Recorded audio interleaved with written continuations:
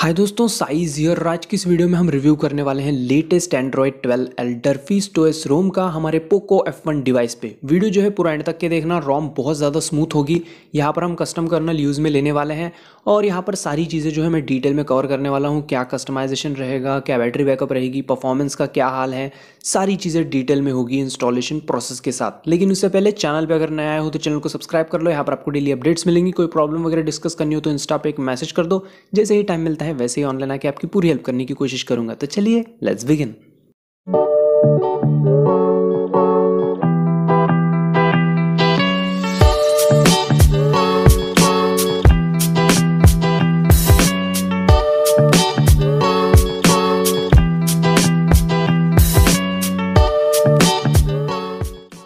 तो सबसे पहले बात करें रोम की, चलते हैं सेटिंग्स में बात करते हैं अबाउट सेक्शन की। तो रोम जो है ना एंड्रॉयड 12 पे रन कर रहा है। ठीक है? लेटेस्ट सिक्योरिटी पैच है अप्रैल का और यहाँ पे जो कर्नल देखने को मिलता है वो पफ का यहाँ पे कर्नल देखने को मिलेगा। देन अगर बात करें यहाँ पर कुछ इंपॉर्टेंट चीज़ों की, अगर बात करें सेफ्टी नेट की तो जो सेफ्टी नेट है ना वो बाय डिफ़ॉल्ट पास देखने को मिलता है। जैसे कि आप देख पा रहे हो मतलब बैंकिंग ऐप्स वगैरह आराम से यूज़ में ले सकते हैं। और बात करूँ जी कैम की तो जी कैम बहुत अच्छे से वर्क कर रहा है। जैसे कि आप देख पा रहे हो, लगभग लगभग बहुत मोस्ट ऑफ़ द मोड्स अच्छे से वर्क कर रही हैं। फोर के सिक्सटी एफ़ तक के वीडियो रिकॉर्डिंग वगैरह यहाँ पे हम कर सकते हैं। देन उसके बाद अगर बात करें यहाँ पर सील नेक स्टेटस की तो वो इन्फोर्सिंग देखने को मिलेगा। और बात करें अगर गूगल फ़ोटोज़ की तो यहाँ पर मैं चेक करवा देता हूँ। तो यहाँ पर जो है ना, हमको unlimited Google photo storage original quality देखने को मिलेगा तो जैसे कि आप देख पा रहे हो।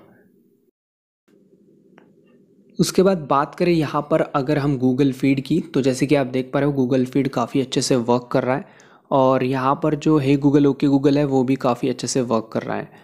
और लॉक स्क्रीन पे भी जैसे देख पा रहे हो, काफ़ी सही रिस्पॉन्स है, कोई दिक्कत नहीं है। देन अगर बात करूँ यहाँ पर ऐप ओपनिंग की तो आप देख सकते हो ऐप ओपनिंग काफ़ी स्मूथ है। यहाँ पे कोई मतलब दिक्कत नहीं हो रही है। एकदम इंस्टेंट यहाँ पे आपको देखने को मिल जाएगा रिस्पॉन्स देन यहाँ पर अगर स्क्रीनशॉट वगैरह आप ले सकते हो, उसी को आप गूगल लेंस में वगैरह यूज़ में ले सकते हो क्लियर ऑल वगैरह सब कुछ मिल जाता है, ठीक है? देन अगर यहाँ पर अगर बात करें कॉलिंग की तो यहाँ पर कॉलिंग चेक करवा देता हूँ। तो यहाँ पे कॉल रिकॉर्डिंग का ऑप्शन है कि नहीं, एक बार देख लेते हैं। तो जैसे आप देख पा रहे हो, यहाँ पर कॉल रिकॉर्डिंग का भी ऑप्शन है बट यहाँ पे अनाउंसमेंट होगा, इस बात का हमें ध्यान रखना है।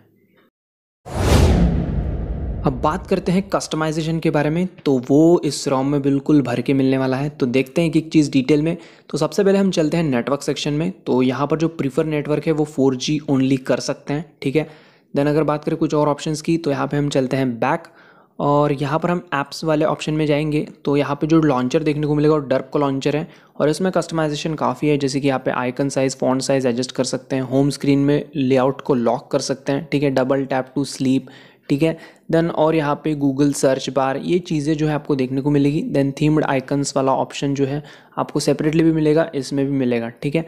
देन उसके बाद बात करें कुछ और ऑप्शंस की तो यहाँ पे हम चलते हैं अगेन ऐप्स वाले ऑप्शन में ही। तो यहाँ पर ये कुछ चीज़ें देखने को मिलती है। अगर मैं बात करूँ एक बार ऐप ड्रॉवर यहाँ पे तो कुछ नहीं है मिसलिनी जिसमें देखते हैं। तो यहाँ पे अगर हाइड ऐप्स वाला सेक्शन यहाँ पे देखने को मिल जाता है तो एक इंटरेस्टिंग ऑप्शन बन जाता है। यहाँ पर हम हाइड कर सकते हैं ऐप्स को। देन उसके बाद यहीं पे हमें मिल जाता है गेम स्पेस तो इसको चाहो तो हम यूज़ में ले सकते हैं, ठीक है? यहाँ पर बहुत सी चीज़ें मिलेगी, जैसे कि disable auto brightness swipe up ठीक है, ये चीज़ें कुछ देखने को मिल जाती हैं। साउंड की बात करूँ तो यहाँ पे इंक्रीज रिंग वॉल्यूम ये चीज़ देखने को मिलेगी स्टार्ट वॉल्यूम वगैरह। और वॉल्यूम पैनल जो है वो लेफ़्ट वगैरह कर सकते हैं। देन अगर अगर नीचे चलेंगे ना तो यहाँ पे एक चीज़ है स्मार्ट पोज ठीक है पॉज ठीक है तो ये चीज़ यहाँ पे देखने को मिलेगी। देन यहाँ पे और नीचे चलेंगे तो यहाँ पे वाइब्रेशन एंड हैप्टिक फीडबैक वो सेट कर पाएँगे। पर ऐप वॉल्यूम कंट्रोल का ऑप्शन यहाँ पे मिल जाता है देन डायरा साउंड इन्हांसर मिल जाता है। तो ये कुछ चीज़ें यहाँ पर साउंड में एक्स्ट्राज देखने को मिलती हैं। डिस्प्ले की बात करूँ तो एक्स्ट्रा डिम वगैरह यहाँ पे देखने को मिलेगा। डिस्प्ले की बात करूँ लाइव डिस्प्ले की तो यहाँ पे आपको जो कलर प्रोफ़ाइल है वो सेट कर पाओगे। प्लस यहाँ पे जो नाइट लाइट वाला जो ऑप्शन है वो डिस्प्ले मोड मतलब इसके अंदर मिलेगा आपको, ठीक है ना? तो यहाँ पे कलर टेम्परेचर वगैरह जो है वो सेट कर सकते हैं देन उसके बाद आपको आँखों को कोई प्रॉब्लम ना हो, ऐसे आप अपना सेट कर पाओगे। देन कलर कैलिब्रेशन ठीक है पिक्चर एडजस्टमेंट ये चीज़ें यहीं पर मिल जाएँगी। बात करें यहाँ पर लॉक स्क्रीन की तो यहाँ पर जो है double tap to sleep on ये चीज़ें मैं बाद में चेक कराऊँगा। तो अब एम्बियन डिस्प्ले देख पा रहे हो always shoot time and info काफ़ी अच्छे से वर्क कर रहा है। देन यहाँ पर हम चलते हैं बैक और बात करते हैं कुछ और ऑप्शंस की। तो डार्क थीम भी काफ़ी सही यहाँ पे वर्क कर रहा है। आ, अगर यहाँ पर ये ऑप्शन बंद रखो तो बेटर रहेगा। अलाउ विंडो ब्लर वाला। ठीक है? देन यहाँ पे कलर्स वाले ऑप्शन में नेचुरल सैचुरेटेड जो कुछ आपको पसंद है वो रख सकते हो। रिफ्रेश रेट वाला ऑप्शन है बट वो वर्क नहीं कर रहा है मतलब शो ही नहीं कर रहा है, वो सिक्सटी पे ऐड कर रहा था ठीक है? और double tap to wake double tap to sleep जैसे कि देख पा रहे हो रिस्पॉन्स काफ़ी इंस्टेंट है, कोई दिक्कत नहीं है इसमें। देन उसके बाद हम आ जाते हैं बैक और कुछ और चीज़ें भी यहाँ पर हम चेक कर लेते हैं। तो यहाँ पर हम चलते हैं वॉलपेपर एंड स्टाइल में तो यहाँ पे वॉलपेपर्स वगैरह कुछ देखने को मिलेगी। थीम आइकन्स यहाँ से यूज़ में ले सकते हैं, जैसे कि आप देख पा रहे हो, काफ़ी अच्छे से वर्क कर रहा है। देन यही पे एक इंपॉर्टेंट ऑप्शन में दिखाना चाहता हूँ। अगेन चलते हैं वॉलपेपर एंड स्टाइल वाले ऑप्शन में। थोड़ा नीचे चलते हैं तो ये देखिए सिस्टम आइकन पैक्स तो इसको चेंज कर सकते हैं। काफ़ी डिफरेंट टाइप के पैक्स दिए हैं। ठीक है कुछ कुछ इसमें तो एक ही पैक होता है तो इसमें तो काफ़ी दिए हैं। आप सेट कर पाओगे। देन यहाँ पे फिंगरप्रिंट फेस अनलॉक सारी चीज़ें काफ़ी अच्छे से वर्क कर रही है। ऐप लॉक का भी सपोर्ट है। ठीक है, यहाँ पे जो फेस अनलॉक है वो आईआर फेस अनलॉक है। तो यहाँ पर काफ़ी इंस्टेंट अनलॉकिंग वगैरह देखने को मिलेगा। और यहाँ पे एक एक्स्ट्रा ऑप्शन ऑटो रीबूट वाला ये ऑप्शन मिलेगा। आप अपने फ़ोन को ऑटोमेटिकली रीबूट करवा सकते हो एक घंटे बाद ऐसा वगैरह। ठीक है?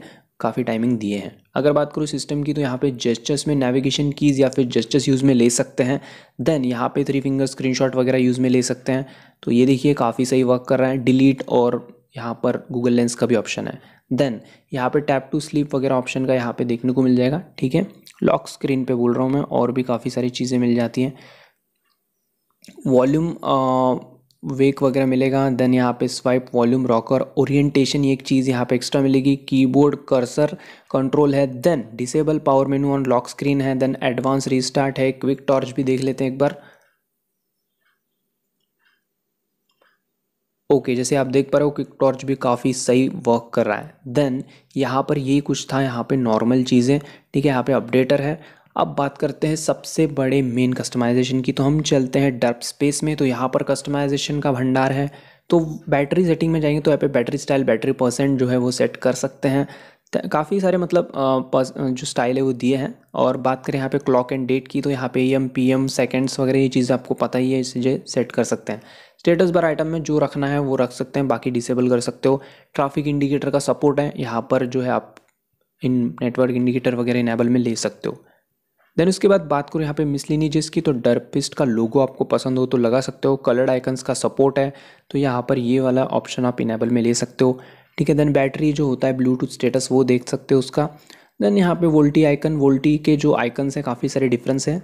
डिफरेंट टाइप के तो देख पा रहे हो मैंने एक सेट किया है एच वाला। देन यहाँ पे वो वाईफाई का भी आपको आइकन स्टाइल वगैरह मिल जाएगा तो वो भी आप चाहो तो चेंज कर सकते हो। देन यहाँ पे रोमिंग इंडिकेटर है स्मॉल मोबाइल टाइप आइकन है माइक और कैमरा वो जो प्राइवेसी इंडिकेटर्स होती है, उनको डिसेबल इनेबल कर सकते हो। नोटिफिकेशन में एम्बियंट डिस्प्ले का सपोर्ट यहाँ पे देखने को मिलेगा। किल ऐप बटन का ऑप्शन मिल जाता है तो कुछ इस तरह हम किल कर सकते हैं किसी भी अप्लीकेशन का नोटिफिकेशन फोर्सली देन यहाँ पे अगर नीचे चलूँ तो और भी काफ़ी सारे ऑप्शन हैं, ठीक है? तो यहाँ पे हेडसअप का ऑप्शन देखने को मिलेगा। री थिकर का ऑप्शन है यहाँ पर। Blink flash light for incoming calls always रख सकते हो या फिर आपको जो रखना है वो। Vibrate on connect vibrate on disconnect call तो मिल ही जाएगा। क्विक सेटिंग्स की बात करूँ तो यहाँ पर जो है म्यूज़िक टाइल ट्रैक टाइटल ये एक चीज़ आपको कुछ एडिशनल थोड़ा डिफरेंट देखने को मिल जाएगी। देन यहाँ पे अगर नीचे चलेंगे तो काफ़ी सारा कस्टमाइजेशन है ब्राइटनेस स्लाइडर वगैरह यहाँ पे कुछ आपको देखने को मिल जाता है। ठीक है तो ये देखिए मैंने कुछ इसको बॉटम पे रखा है तो थोड़ा अलग ही लग रहा है मुझे तो मुझे ये नहीं चाहिए बॉटम पे, मुझे वही सही चाहिए जैसा था। देन यहाँ पे एनिमेशन स्टाइल वगैरह मिल जाएँगी। वाइब्रेट ऑन टच जो टाइल होता है, वो वाला ऑप्शन जो आप यूज़ में ले सकते हो। देन यहाँ पर अगर बात करूँ लॉक स्क्रीन शॉर्टकट्स की तो ये चीज़ें यहाँ पे देखने को मिलती हैं। लॉक स्क्रीन यूआई की बात करूँ तो डिसेबल रिपेल इफ़ेक्ट कर सकते हैं। फिंगरप्रिंट यहाँ पे वाइब्रेशन फिंगरप्रिंट एरर वाइब्रेशन ये चीज़ें देखने को मिल जाएँगी। लॉक स्क्रीन चार्जिंग इन्फॉर्मेशन का ऑप्शन है यहाँ पर। ठीक है temperature unit colour sorry Celsius वगैरह जो है वो सेट कर पाओगे। और स्क्रीन ऑफ़ एनिमेशन सीआरटी वगैरह तो ये देखिए कुछ इस तरह देखने को मिलता है। सही लगता है और सी आर टी जैसा ही लगता है बिल्कुल। देन अगर बात करूँ यहाँ पे एम्बियंट डिस्प्ले की तो वो चीज़ तो बिल्कुल अच्छे से वर्क कर ही रही है। आप चाहो तो उसको आराम से यूज़ में ले सकते हो, ठीक है? और एम्बियंट म्यूज़िक तिकर भी यहाँ पर मिलता है, जो कि काफ़ी सही रहेगा मेरे ख्याल से। देन बैटरी की बात करूँ तो यहीं पे आपको जो लाइट वगैरह होता है डो नॉट डिस्टर्ब मोड पे लो बैटरी पे वो ब्लिंक लाइट वगैरह मिलता है। कस्टमाइजेशन में आपको ब्लैक थीम वगैरह आप लगा सकते हो, ठीक है? कस्टम कलर जो है वो यूज़ में ले सकते हो। आपको अगर पसंद है कोई और कलर लगाना है तो वो आप यूज़ में ले सकते हो। देन बॉडी फॉन्ट्स बहुत सारे दिए गए हैं यहाँ पर, बिल्कुल भर के हैं। देन आइकन पैक भर के हैं। देन वाईफाई आइकन वो भी भर के हैं। देन यहाँ पे सिग्नल आइकन वो भी भर के हैं और यहाँ पे आइकन शेप वो भी भर के हैं। भर के भर के हैं पूरे। देन अगर बात करें यहाँ पे पल्स की तो नेविक बार पल्स है क्विक सेटिंग पल्स है लॉक स्क्रीन पल्स ठीक है? तो यहाँ पे ये पल्स रिलेटेड है पूरा। और नेविगेशन बार बोलूँ तो यहाँ पे अगर आपको पसंद नहीं है तो उसको बंद कर दो, ठीक है? और जो लेआउट वगैरह होते हैं, वो सारी चीज़ें हम एडजस्ट कर सकते हैं इसमें मतलब इन्वर्ट वगैरह सब कुछ, ठीक है? देन यहाँ पे जनरल सेटिंग्स में ये कुछ चीज़ें मिल जाती हैं। और यही कस्टमाइजेशन है। बहुत सारा कस्टमाइजेशन था, वैसे कम नहीं था वैसे। और नोटिफिकेशन पैनल कुछ इस तरह है, ठीक है? वाईफाई और इंटरनेट के लिए सेपरेट टाइल्स हैं। देन यहाँ पे कुछ नाइट लाइट का जो टाइल है वो नहीं मिलेगा। वो जो है ना आपको डिस्प्ले के अंदर लाइव डिस्प्ले के अंदर जाके ही वहाँ से सेट करना पड़ेगा। तो वो चीज़ मैंने जब दिखाई थी आपको, ठीक है? और बात करें कुछ यहाँ पर वॉल्यूम पैनल कुछ इस तरह मिल जाता है, ठीक है? और एनिमेशन वगैरह जो कुछ है, यहाँ पर आपको एंड्रॉयड एल के मिल जाएँगी। तो यहाँ पर कुछ इस तरह आपको मिल जाती हैं। एनिमेशन थोड़ा इंस्टेंट लग रहा है इसका मतलब वो ऐसा खुले जैसा, धीरे जैसा नहीं लग रहा है। एकदम फट से मतलब पता भी नहीं चल रहा है। ये एक चीज़ यहाँ पे मैंने नोटिस की है।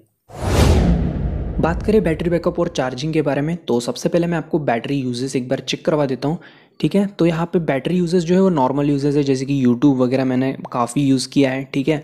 तो यहाँ पर जो कंडीशन थी मेरी फिफ्टी परसेंट ब्राइटनेस था फ़ोन का और एक घंटे तक के मैंने यहाँ पे यूज़ किया फ़ोन को तो कुछ तेरह परसेंट बैटरी ड्रेन हो रही है। मतलब यहाँ पे कुछ आठ घंटे का screen on time with usages के साथ देखने को मिलता है, ठीक है? उसके बाद देन बात करूँ बैटरी की तो चार्जिंग की सॉरी ठीक है, चौदह सौ, पंद्रह सौ, ग्यारह सौ ऐसे मिली एम्पेयर की स्पीड से फ़ोन चार्ज होता है बट याद रखिए यहाँ पर पूरा डिवाइस ठंडा रहना चाहिए, तभी होगा, नहीं तो बहुत स्लो चार्जिंग का इशू है इसमें, ठीक है ना? और बैटरी बैकअप भी तभी मिलेगा जब इसको आप दो दिन यूज़ करोगे, तब जाके आपको सही बैटरी बैकअप का आउटपुट दिखाएगा ये आपको, ठीक है ना? और थर्मल प्रोफ़ाइल का सपोर्ट है, ठीक है तो ये चीज़ आप देख लेना। बाकी यहाँ पर कुछ कुछ चीज़ें हैं, जैसे कि यहाँ पे जो है ये जो पिक्सल वाला जो ग्राफ है ना, वो आप इनेबल करके देख सकते हो, ठीक है? तो इस तरह आपको अगर नहीं करते हो तो इस तरह देखने को मिलेगा, ठीक है? अगर इसको यूज़ में लोगे तो कुछ पिक्सल टाइप देखने को मिलेगा। और ये चीज़ मेरे को ज़्यादा इंटरेस्टिंग लगी बैटरी चार्ज वार्निंग जब आपका चार्जिंग उस टाइम पर मतलब जितना परसेंट पर आप एडजस्ट करोगे, उसके बाद जो है वो वार्निंग देना स्टार्ट करेगा कि इतना आपका चार्ज हो चुका है रिंग बजेगा एक्चुअली ठीक है? तो उसके लिए अलग से एप्लीकेशन डालते हैं, लेकिन वो बिना डाले इसमें दिया गया है, सिर्फ़ बैटरी को हम हद तक के इसको सेव कर सकते हैं बिना डैमेज होने से, ठीक है ना? देन ब्लॉक सेंसर है आइडियल मैनेजर है, ये चीज़ें कुछ यहाँ पे देखने को मिल जाती हैं। बात करें परफॉर्मेंस के बारे में तो सबसे पहले यहाँ पर जो है हम एंतुतु बेंचमार्क स्कोर चेक करते हैं। तो ये स्टॉक कर्नल का स्कोर है three lakh eighty nine thousand one hundred forty four और एनजी के कर्नल पे जो है काफ़ी अच्छा स्कोर निकल आया है फोर लैख के ऊपर स्कोर है। ठीक है, मैंने इस कर्नल को क्यों फ्लैश किया वो आगे बताऊँगा, ठीक है?